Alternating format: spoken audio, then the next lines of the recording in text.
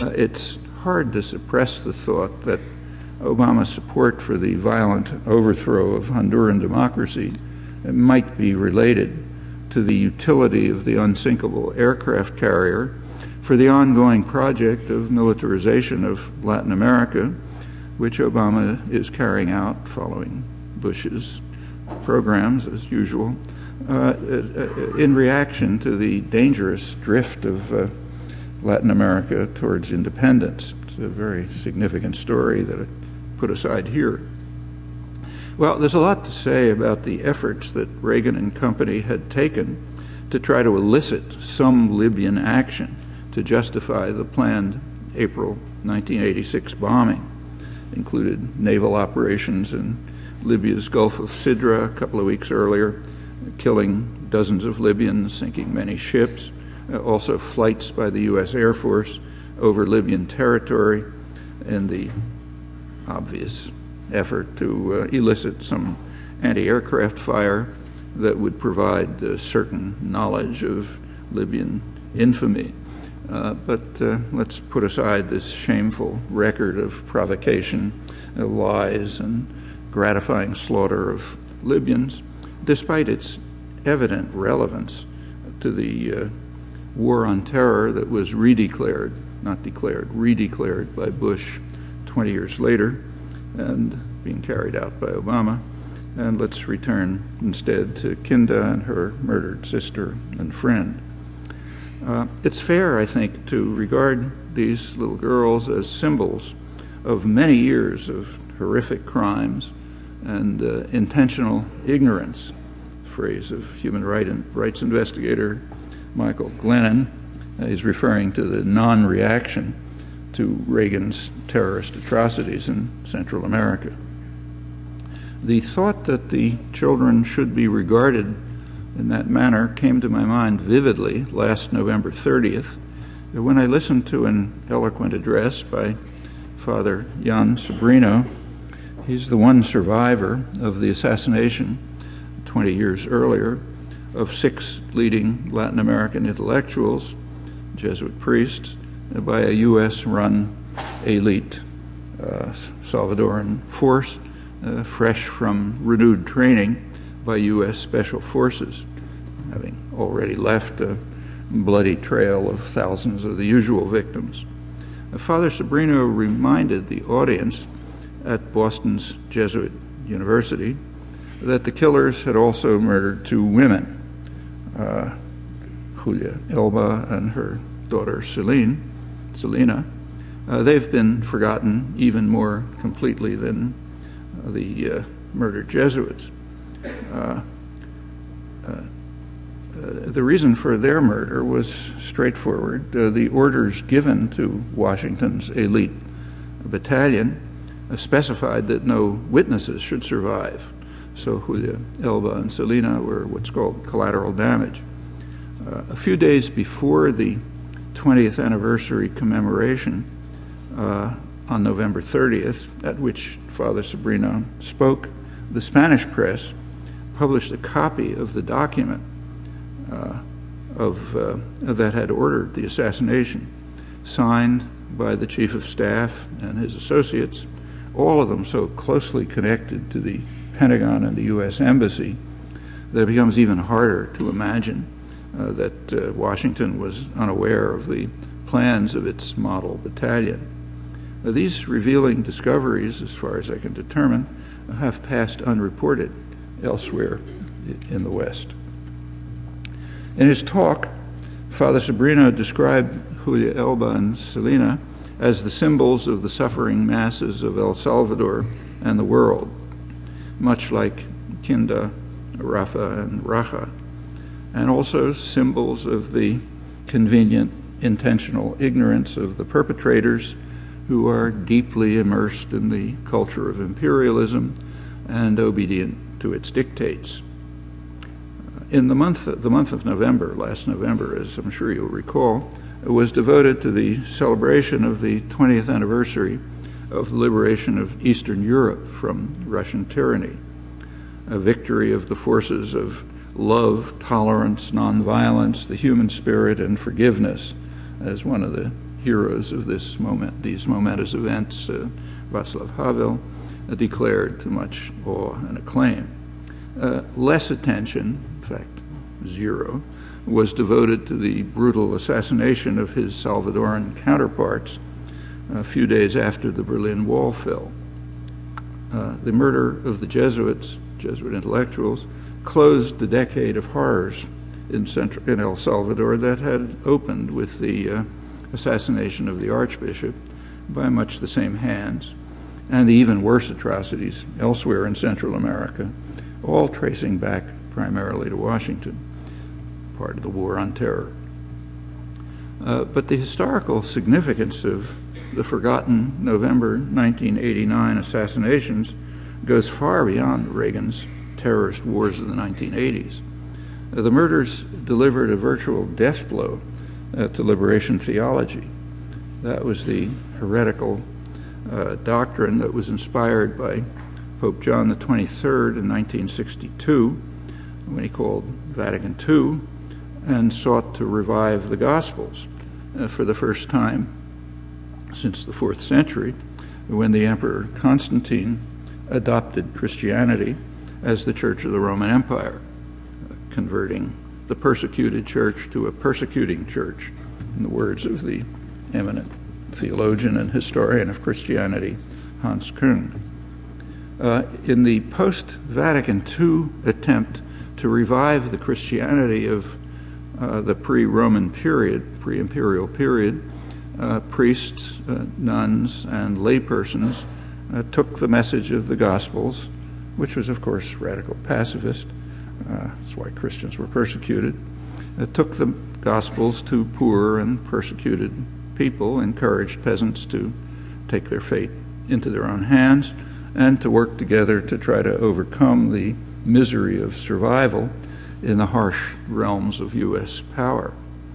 Uh, the preferential option for the poor, as it was called, drawn directly from the Gospels, uh, and adopted by the Latin American Church, it was recognized by the emperor very quickly to be a grave and intolerable heresy. And the reaction was swift, uh, beginning with the installation of a vicious uh, terror and torture national security state in Brazil, the military coup planned by Kennedy, Kennedy administration, and carried out shortly a couple of weeks after Kennedy's assassination. Uh, that was the first stage of a plague of repression uh, without parallel uh, since the days of the conquistadors. It spread over South America under Washington's guidance, uh, left many religious martyrs, uh, all forgotten for the usual reasons uh, wrong agency the near final blow to the preferential option for the poor was in November 1989. Now, the emperor is quite proud of this achievement. The School of the Americas, which has since been renamed, uh, which is famous for training Latin American killers, uh, advertises as one of its talking points, I'm quoting, that liberation theology was defeated with the assistance of the U.S. Army we got rid of this gospel's heresy. Well, that's uh, made a couple of remarks about the end of the Cold War in 19, November 1989. It might be useful to look at the origins of that international conflict. Uh, these are events in which uh, Princeton's own Woodrow Wilson played an illuminating role. Uh, the prominent Cold War scholar John Lewis Gaddis uh, quite plausibly traces the origins of the conflict to the Bolshevik takeover of Russia in 1917. And uh, he writes that uh, the immediate Allied intervention was undertaken in self defense, uh, and for Woodrow Wilson, was inspired above all else uh, by his fervent desire to secure self determination in Russia. Uh, Gaddis adds that the 1918 Western invasion, quoting him now, was undertaken in response to a profound and potentially far reaching intervention by the new Soviet government in the internal affairs not just of the West, but of virtually every country in the world, uh, namely the revolution's challenge which could hardly have been more categorical to the very survival of the capitalist order.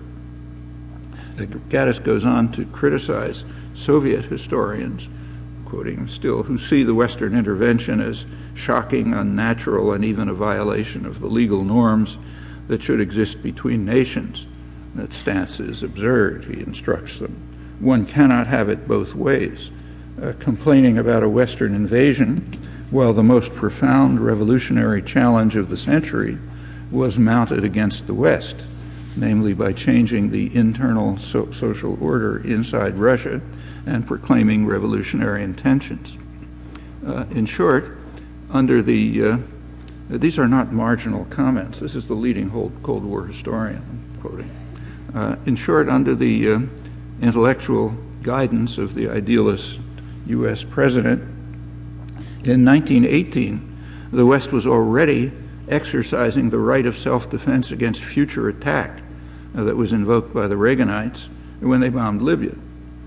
In 1918, it was self defense against an ideological threat, uh, similar to our self defense against the heretical return to the Gospels in 1962, crushed at last uh, by the November 1989 assassination, so it's hoped. Uh, in his uh, scholarly history of Soviet American relations, uh, George Kennan expands on Gaddis's analysis. He writes that Lenin's dissolution of the Constituent Assembly in January 1918 initiated the Cold War conflict with an element of finality. The idealistic Woodrow Wilson was particularly distraught, Kennan continues. That's a reflection of his uh, strong attachment to constitutionality, which was deeply offended by the sight of a government with no mandate beyond the bayonets of the Red Guard. That's Kennan.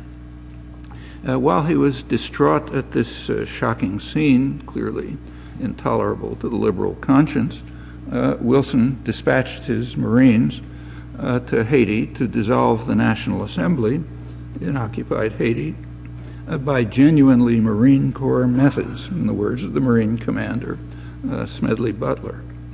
The reason was that the Haitian uh, legislature had refused to ratify a U.S. written constitution uh, that would permit U.S. corporations to buy up Haitian lands.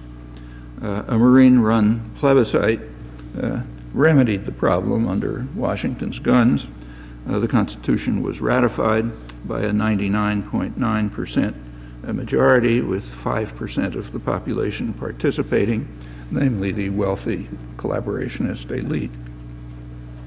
Uh, Wilson's strong attachment to constitutionality was unmoved uh, by the sight of a government with no mandate uh, beyond the bayonets of the Marines, uh, nor Kennan's.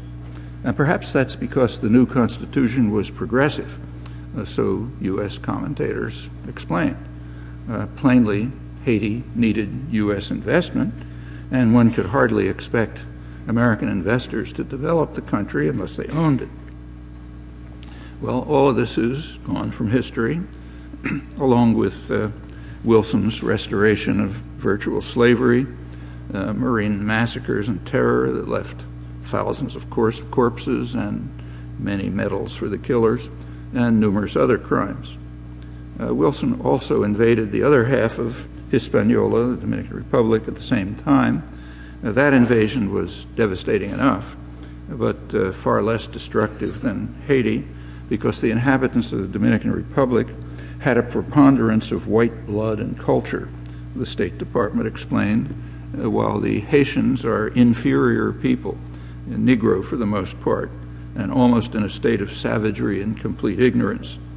So it was actually out of a sincere desire to help suffering Haitians that the U.S. forced them at gunpoint to allow U.S. investors to take over their country in an unselfish intervention carried out in a fatherly way with no thought of preferential advantages, commercial or otherwise, for ourselves and as you can guess, I'm quoting the New York Times editors, uh, adopting a posture that uh, is still found in some academic